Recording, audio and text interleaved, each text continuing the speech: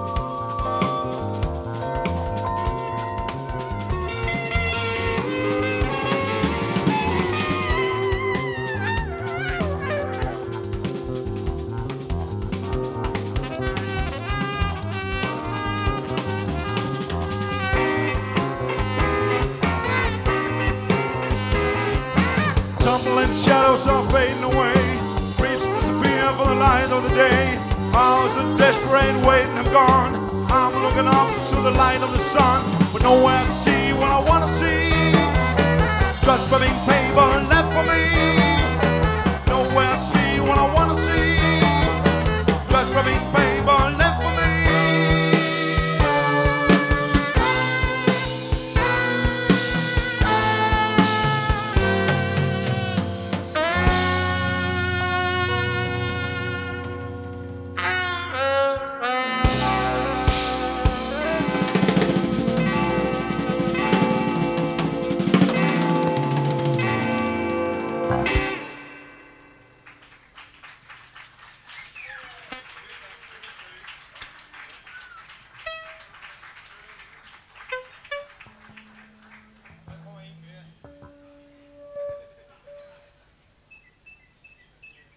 Gerne spille en sang, som også er hentet fra vores hjemlands. Dengang er det ikke ved i have, men fagre sletter. Og det er lidt af løgn i sådan den her sammenhæng, for det er nogen, der hedder Pigerne fra Himmelbjerget.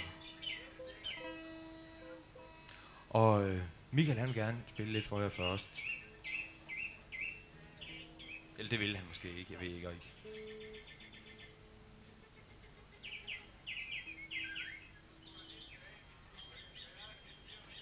Der er fire minutter. Nej, der, er fire minutter med fugle. Jeg synes lige, vi skal nyde det lidt. Det er så herligt.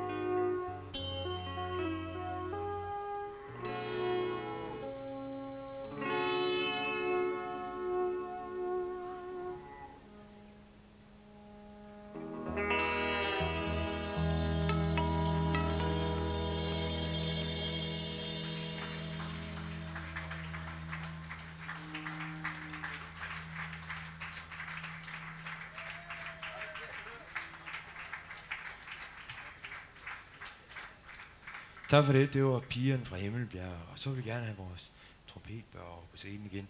Mr. Jens Winter.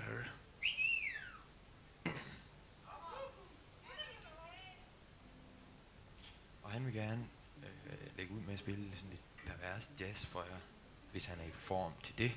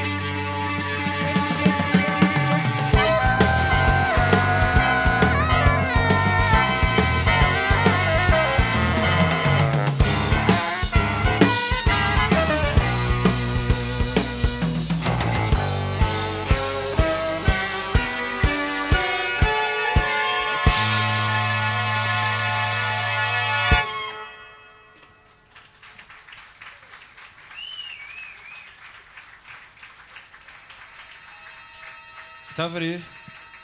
Det var John Jørgensen.